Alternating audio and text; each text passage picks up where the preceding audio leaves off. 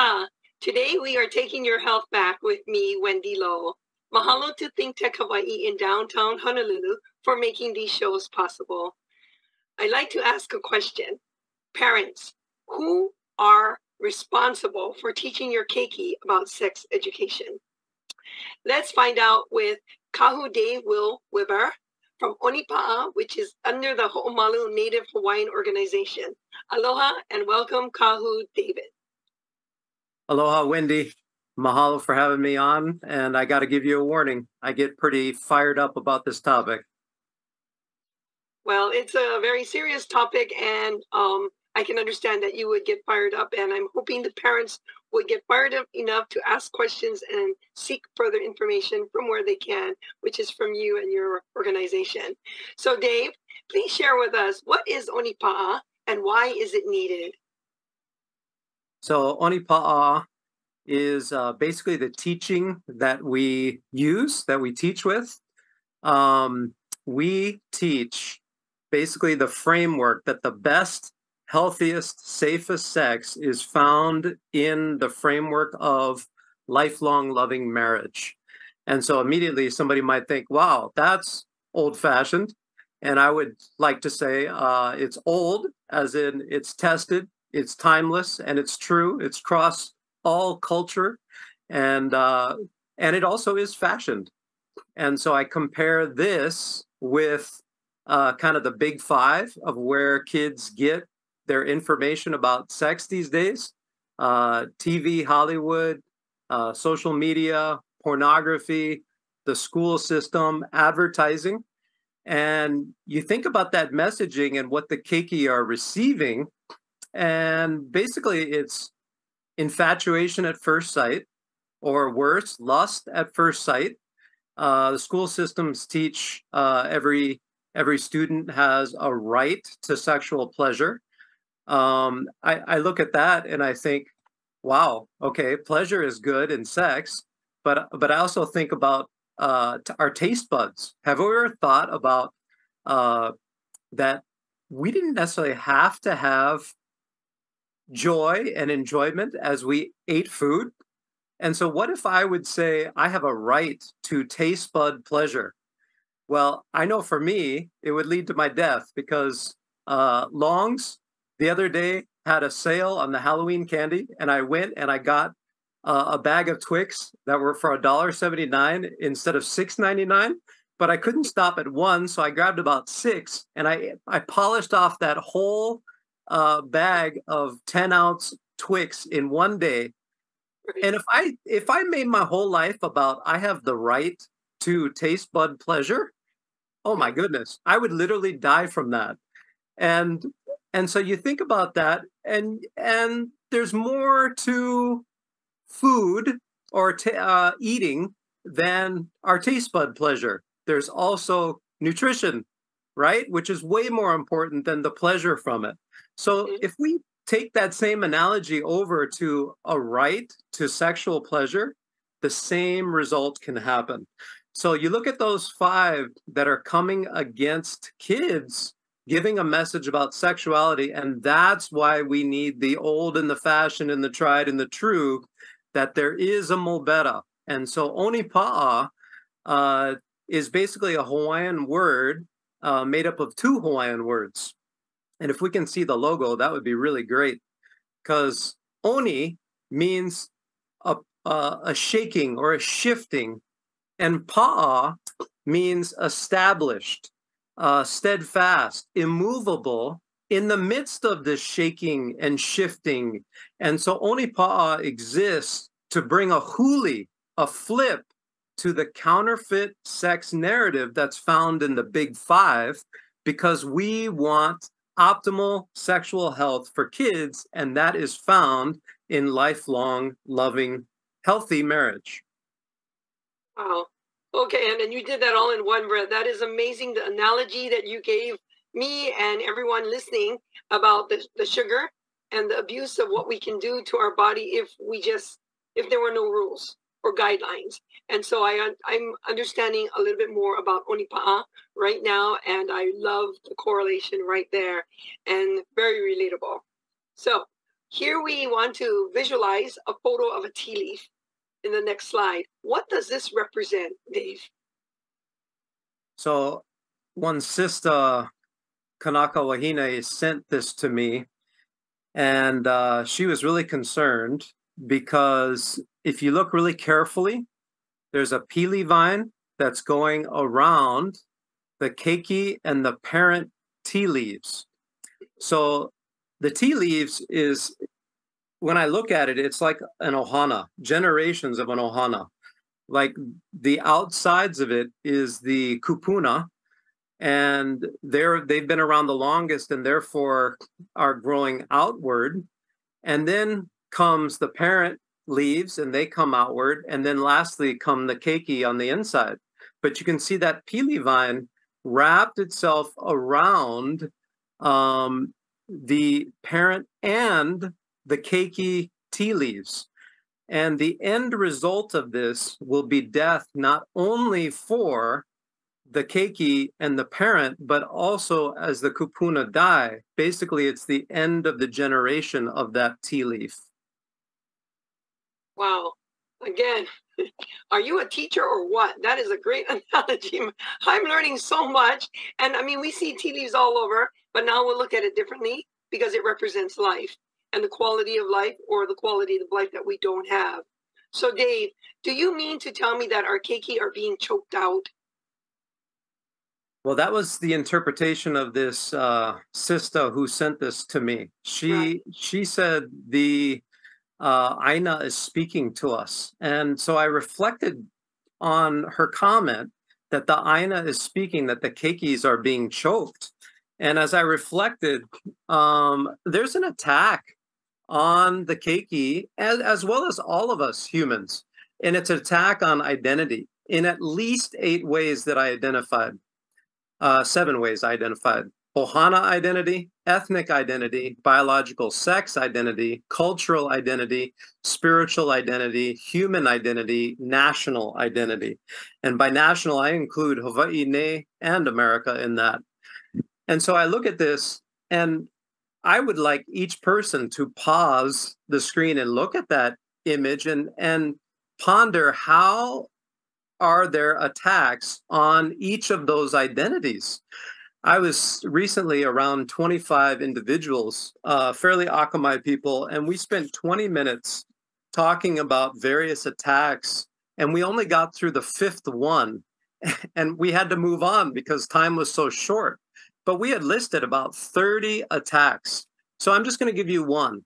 Um, for a child, um, think about divorce. So if there is tension between the biological dad and the biological mom, that tension is experienced at a gut level with the keiki because what we teach and what the body teaches is that 23 chromosomes came from the the dad, and 23 chromosomes came from the mom.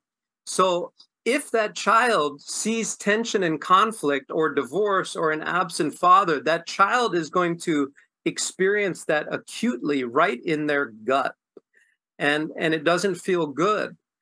And so our keiki today need to be pa'a in the midst of oni, but pa'a knowing that that marriage is the best for all sexuality and the best um, for emotional satisfaction in terms of relationships. I don't want to knock our singles, but the studies are showing that what's best for uh, sexual satisfaction and emotional satisfaction is lifelong loving marriage. Singles can have emotional satisfaction in their relationships and in communities. And that is very important for society and them. For our kids, what's happening is that that marriage is being ripped out of the messaging of, of sex and sexuality. So think of those big five. How much do they focus on marriage? Like I'll, I'll ask the kids, when's the last time you saw a baby born in in porn or you saw a married couple with porn. And I am not encouraging them to look at porn, but the statistics are showing that that kids will see uh, porn by the age of 11. For me, it was age seven or eight. And so this messaging is getting into their minds and their brains. And so our teaching is actually establishing the kids in their identity. So take, for example, the, the human identity that's under attack. Um, I'll, I'll tell the kids, I don't ever want to hear you call one another person one loser. And then I'll quickly talk about that that when uh, the reproductive system comes together, and what's the only way that the reproductive system comes together naturally? What do you need? You need a biological male and you need a biological female. That's the only way. So already that's validating their biological sex identity. But when you bring those two together, there there's fluid exchange and in the fluid exchange there are 150 million sperm that are off to the races looking for that one uh, egg that the female brings to the equation. And so i tell the kids wait a second. You are not one loser. There were 149,999,999 losers but you kids are the winners. And they get it and they they feel validated in who they are. They are not some random chance. They are on purpose. They were a 1 in 150 million purpose. And then you start looking at the genetic possibilities of the 23 chromosomes and the 23 chromosomes and they really are more of a 1 in a 70 trillion purpose.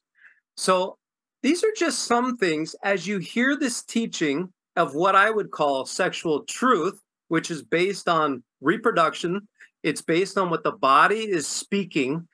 Kids become validated in their identity. They realize that they are important.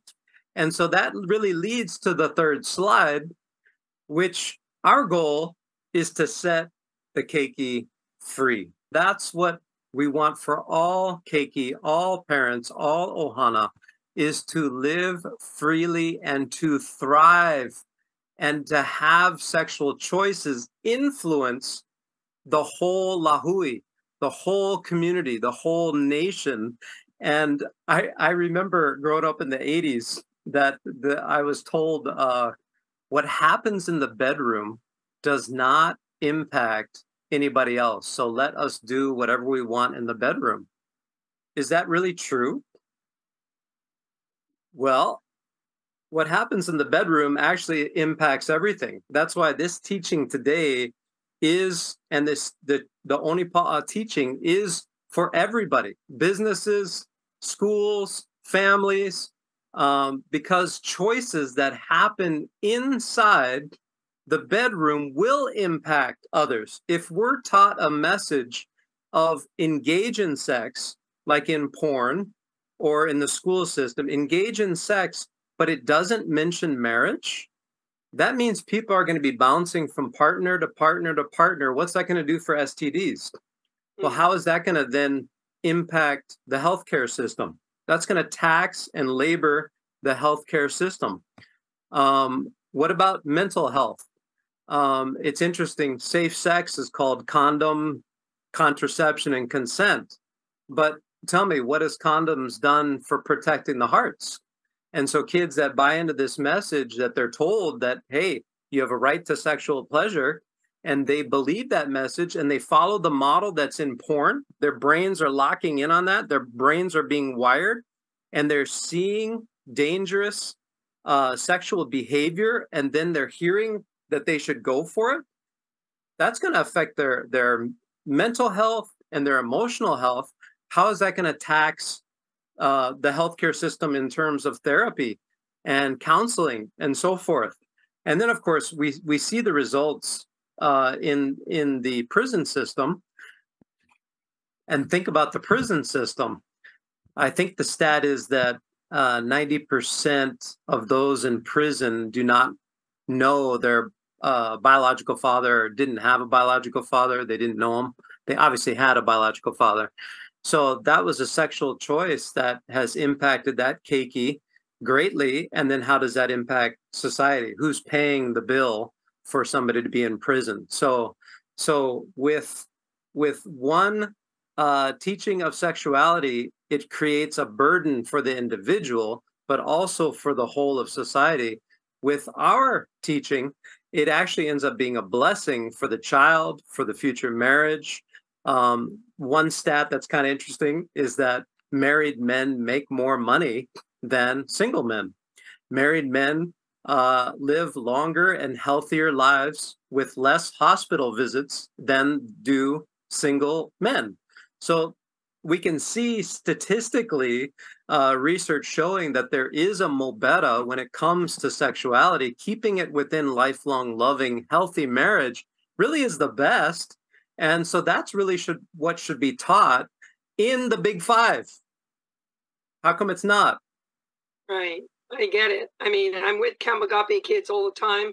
I'm with the kids on the street all the time. And yes, that's a major problem that we hear always. And um, that's the saddest. And we as adults have to look at all of that, you know, even more seriously when we fall in love. And so that's the problem is that they fall in love and you don't fall in love, you know, but, but we'll get into that another time. We fall so, into infatuation or we yes. fall into lust you yes. don't fall into love. That takes exactly. months and years to get to know somebody well enough, the whole person. So that's why the big five doesn't convey real love, but we do. One of the things we look at is distinguishing, discerning, being maka'ala, eyes awake, about the difference between infatuation, lust, and love. Go ahead. So, what do the youth have to say about onipa'a? Uh, that's the fun part. We've we've got uh, feedback from them from each teaching. Uh, I love what this female, age 13, said. Onipa'a helped me realize the importance of sex and made me change my choices to not engage in sexual activities before marriage. And then, how about this male, age 17? This program taught me not only about the deeper reality behind sex, but also life so this is way bigger than sex education, what we teach. We're teaching about their future. We're te- talking about relationships. We're, we're talking about success. And then the, the male said, it taught me to think before doing. It was educational, fun, and life changing, decision changing. I think you can tell by listening to me, we do have a lot of fun in those classes. We tell great stories. So how about so, how how about another male, age 18? I feel Onipa'a gives you a better understanding and depth than you would actually receive from school or elsewhere, the other big four. For example, this youth says, pleasure is less important than the target of marriage for sex. This feels more genuine and gives you second thought to what is actually a good thing for your future. Pretty articulate from these two males. Uh, and keep in mind, these are bus up kids that I got these uh, this feedback from. Uh, these were kids that were actually sexually active before they got to the teaching. So this is a shame-free uh, teaching. In fact, the curriculum that we use uh, was designed by a lady who was running a uh, crisis pregnancy center. So the girls that were pregnant were coming to her, and and her heart was breaking because the the girls' hearts were breaking. And after helping them over and over and over, she said, "I have got to write a curriculum." So the curriculum is highly, highly sensitive for kids that are already sexually active and instead of dealing with the past, which would bring shame, we talk about today, their choices today, and looking at their future. What is your best optimal sexual health today in relationships and protecting your heart, protecting your future? And we look at all of that. And that's why any kid, no matter what their past is, or any adult for that matter, can look at today and what are my best decisions that I can make for myself, for my family, for my future possible spouse, for my future possible kids, generations, and what is going to get me on track. And ultimately, making decisions to avoid risky behavior. And the solution is not condoms, the solution is waiting, delaying for lifelong marriage. Every kid and every adult deserves to have that message. And so I'm going to read the last uh, comment that that one female writes. Uh, she said of the teachers, they helped me make myself believe I can wait for sex.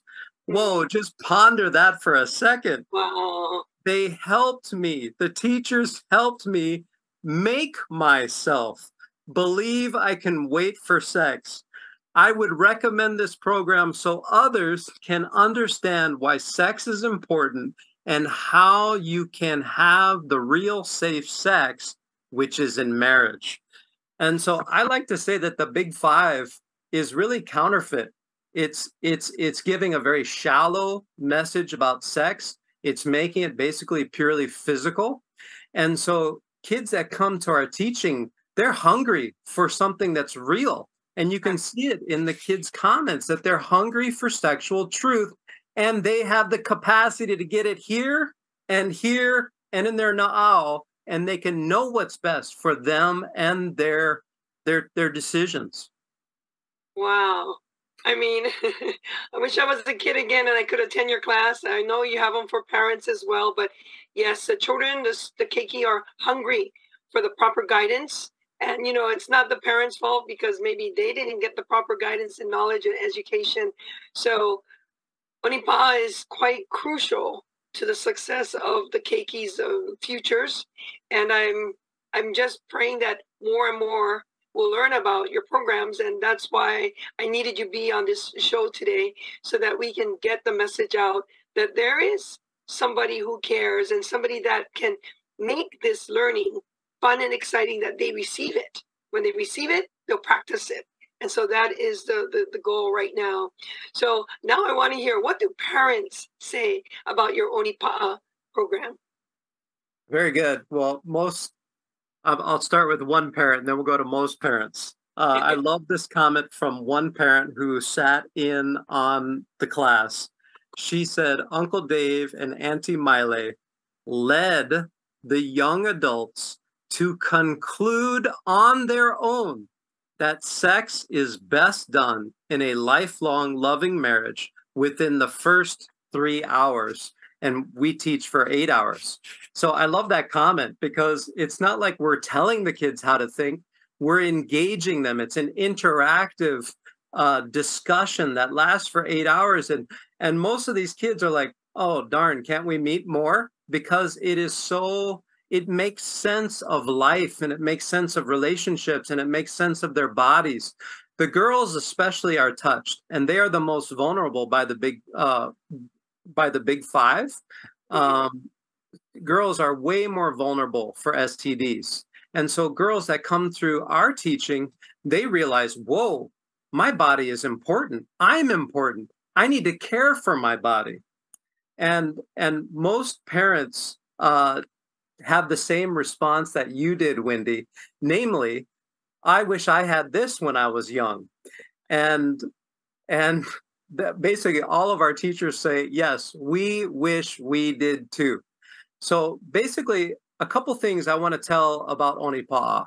We view uh, parents as the primary educators for their children. The, they're not our children. So we view our role as coming alongside the parents. It's ultimately the parents' kuleana to teach and educate the, their kids about uh, sexuality. But I know there's a lot of reasons why parents don't do it. When parents don't do it, that means the kids are going to be taught sexuality by the big five. And. I don't think we're going to be happy with the result.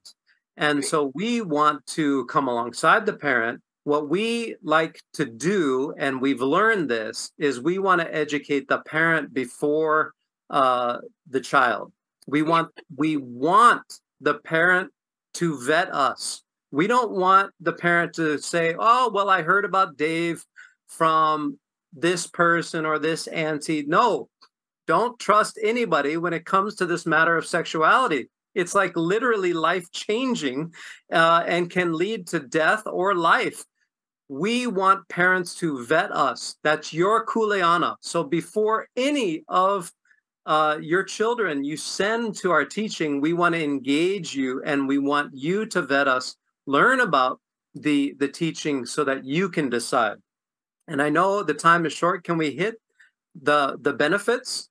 Yes. So I just want I'm going, yeah we have like a minute left. So what are just give me one or real short benefit of the Onipa'a program, and what is some of your teaching content? Excellent. Well, it's right there on that slide, and you can pause it but but basically this teaching will help anybody avoid regret um, but it's also hope for today uh, no matter what the past has been the past shapes us but it doesn't define us uh, this teaching keeping all sexual all sexual activity within lifelong loving marriage it will lead to optimal total health and well-being this teaching will help kids achieve future goals. Um, it will increase wealth and read that about the success sequence on your screen. It leads to better sex. Yes, lifelong loving marriage. You get really good at it. And I intend on having sex into my 70s and 80s. That's what we want. That's what's good for society. Wow. Um, and then you can read the rest of this, but do contact me. We love yes we can teach this anywhere. We've taught it under a, a ulu tree. We've taught it in a church sanctuary uh, on Molokai. Uh, we can teach it in classrooms. All back to you, sis. All right. So yes, our time has come to a close for now. And you, it's not like you're making or you're taking sex away. You're making it more fun and more rewarding when it's the right time. And so this is very valuable information. And to get excited about that, Dave, you share some very critical points on how we can guide our children towards a happier and more fulfilling life, as well as the adults. So, mahalo. I am Wendy Loh, and we will return in two weeks with another edition of Taking Your Health Back. Mahalo, Kahu Dave. Aloha.